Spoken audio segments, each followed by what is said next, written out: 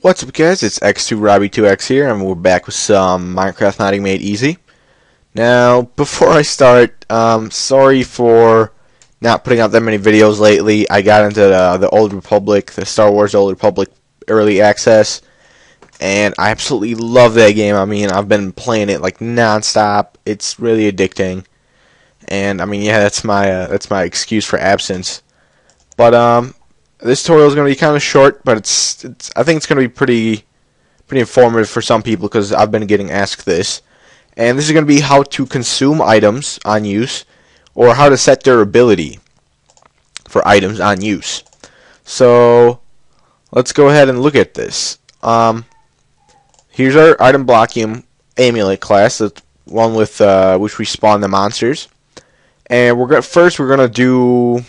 Um, yeah, first we're going to do a consumption. So every time you use the item, one of those items gets consumed. Now, I did add some comments here, so I'm going to release the code, not today, but like in the future, so there's comments here. But basically, you want if you want your max max stack size, you want it to be 1 if you're using durability. So like a pickaxe or something like or like a you know, like if you're using one item and it uses up its own durability, you only want one of those. Um, but if you're doing consumption, you can choose how many items you can stack and then consume. Um, so let, I made the max stack size since we're doing consumption first. I made the max stack size 5, so there's going to be 5 amulets at most in one stack. Um, so this is what you need. You need to change the max stack size depending on if you're doing durability, which would be 1, or consumption, which would be either 1 through 64, depending on how big you want your stack. Now in our item on item right click class, uh, method, you're going to want to add this code right here. Somewhere, it doesn't matter really where, it has to be before the return item stack though.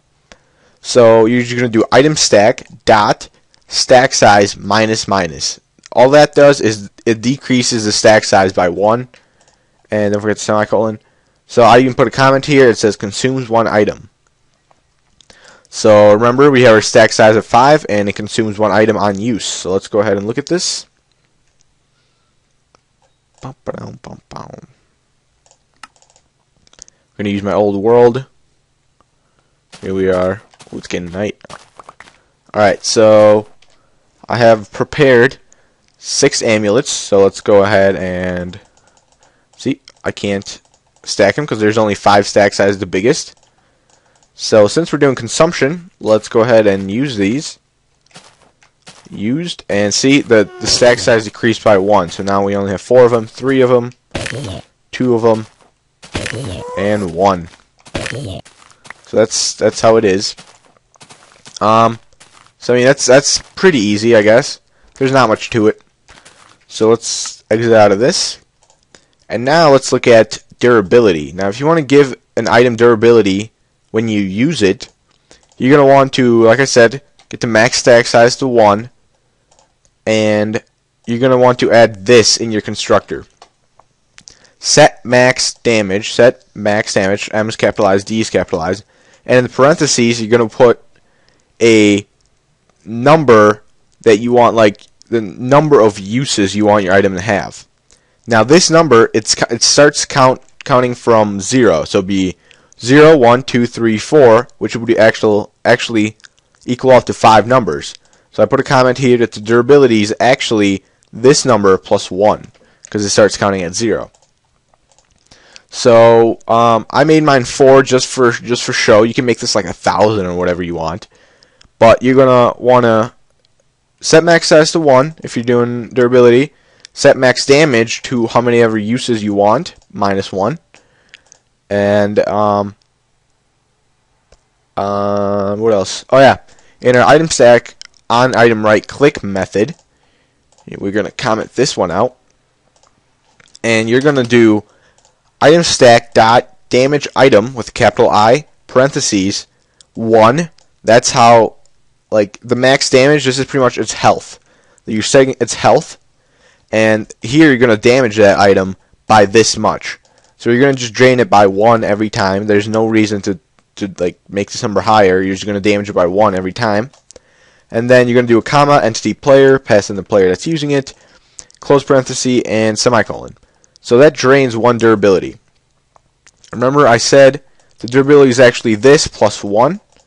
So, um, if we go into the game right now, and we have everything else commented out, okay. If we go into the game right now, don't forget to save. If we go into the game right now, I just said that three times, I don't know why. We're going to see um, durability being 5. So we, we, we're going to be able to use the amulet 5 times. So let's go ahead and look at this. Alright, we have an amulet right here. So, 1. You see the bar started dropping. 2. 3. 4. See, I still have the amulet even though we typed in 4. And 5, the amulet breaks. There you go. So, that's durability. Let me use let me use this one also. Yeah, so I mean, these two consumption durability are pretty easy, and I guess that's the whole point of this short tutorial. Some people want it as as suggestions, so you know, I I did that while just I don't know. I just don't have that much time to do this right now because uh, the Star Wars, like I'm, I'm I was just so excited. I've been anticipating that game for a long time. But I promise there's going to be a lot more modding videos coming out. So, uh, yeah. Uh, make sure to like the video if you liked it. Put some comments down in the comment section below.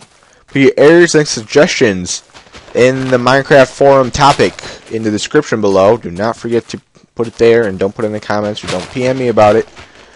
And um, I think that's all, all I got. So, thanks for watching. See ya.